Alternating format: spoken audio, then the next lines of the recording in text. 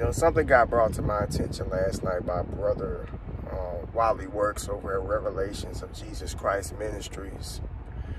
Um, First Samuel chapter 15, verse 23, really, really says a whole lot about what's going on in the world. Um, I'm sorry, we can say the world, but actually what's really going on in this country that we live in of the United States of America. Um, 1 Samuel chapter 15 verse 23 says, it's really short, For rebellion is as of the sin of witchcraft. Mm. For rebellion is as of the sin witchcraft. I apologize for the darkness, but it is nighttime and I, I wanted to get this off and um, you know plant these seeds into the minds of uh, the saints out there so that we can meditate on this and know what we're dealing with here in the United States of America. When I think of rebellion, I think about all of the, the things that are transpiring um, as of you know the last several years uh, there is no respect anymore for authority. There's no respect for our elders. There's no respect for law enforcement. There's no respect for the presidency. And there is no respect for human life anymore.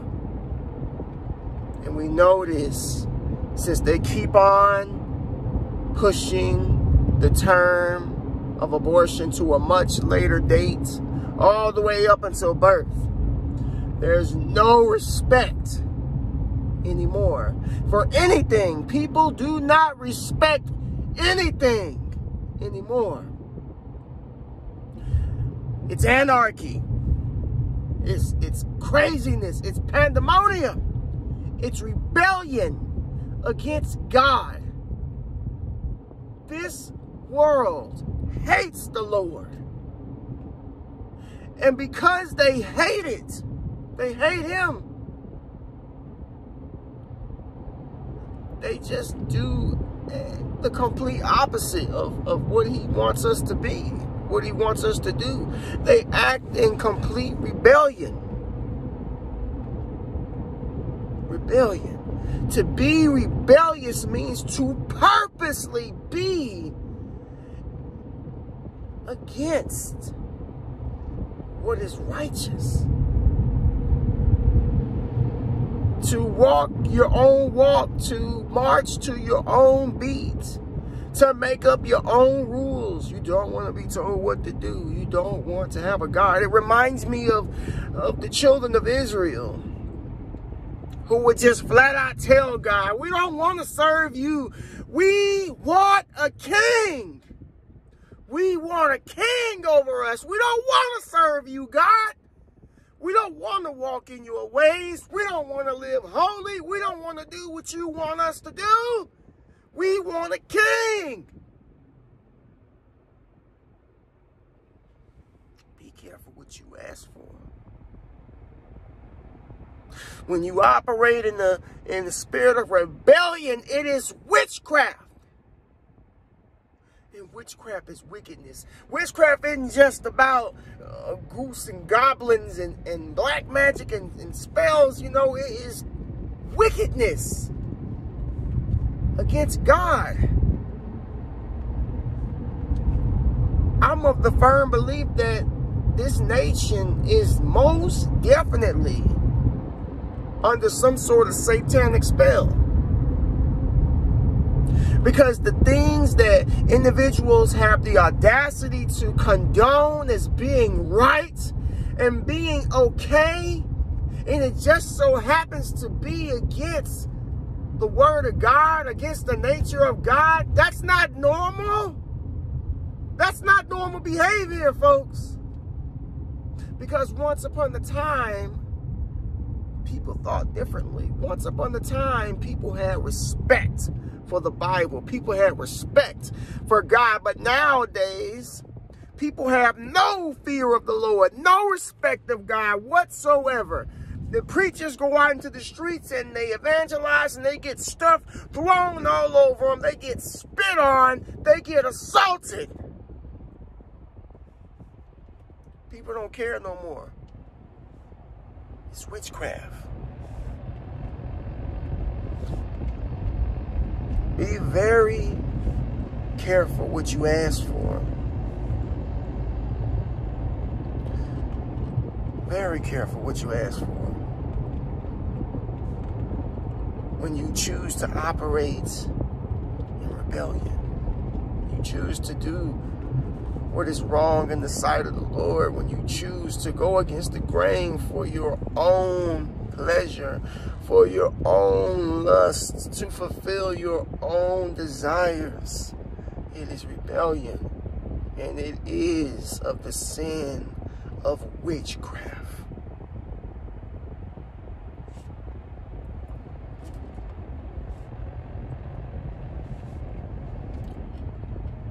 Let us stay praying.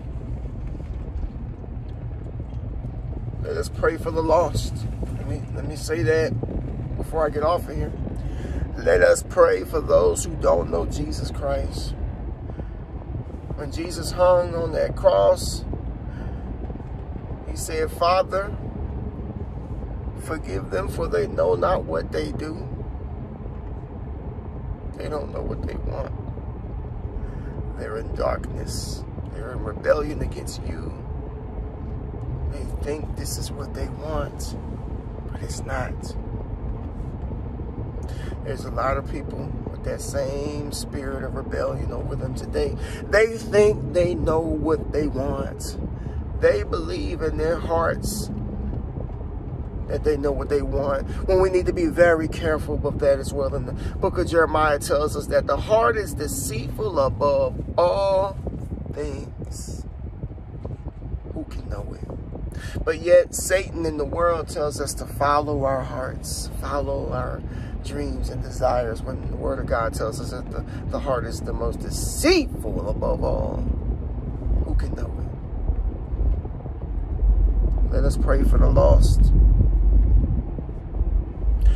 we need to pray for them because if they die in their sins without hearing the gospel, they're going to go to hell.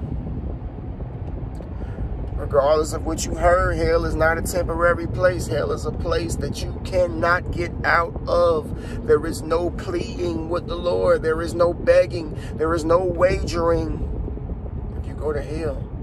But we can't let that happen, saints. I know it's hard. Listen to me. Listen. I understand that it's hard to pray for these hateful, wicked individuals. I know. I know that it's hard to pray for those who blaspheme the name of God. I know that it's hard to pray for those who hate you for the name of Christ's sake.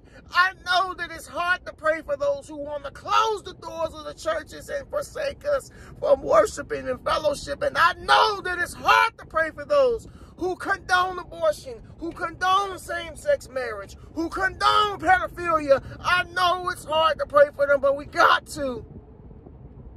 We have to.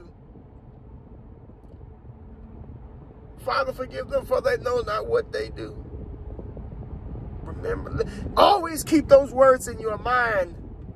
The words of Christ, when you think about the evil things that these people want, the rebellious attitudes that these people display, think about what the Lord said if they don't know what they're doing. They don't know. They don't know, Lord. They don't know. Proverbs 1, if you read the whole chapter,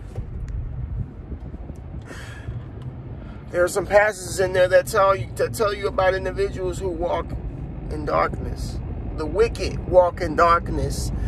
That means that they're blind. They don't know what what's right, what's wrong, because they're so deep in their sin. They're so blind. But Romans chapter 2 tells us that us believers in Christ, we need to lead the blind And we need to shine the light on the feet of the wicked so that they can see that they're dwelling in their iniquity. Because if we don't do something, they're going to die and go to hell. I don't want that for nobody and nothing.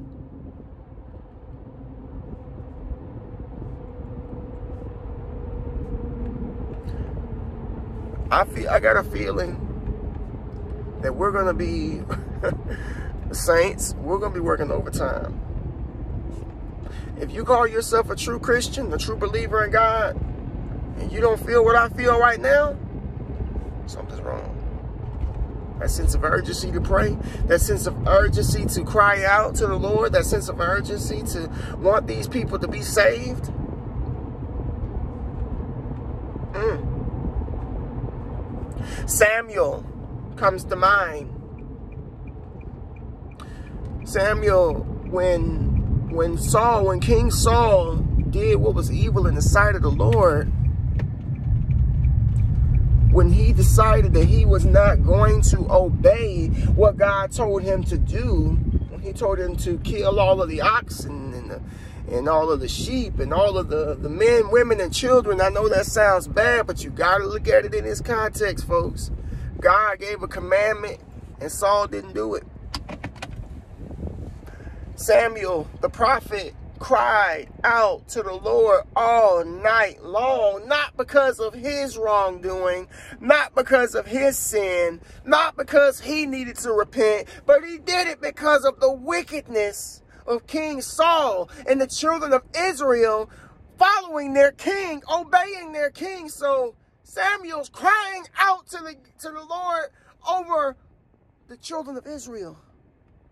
And we need to be doing the same thing for the people around the world that don't know what they do.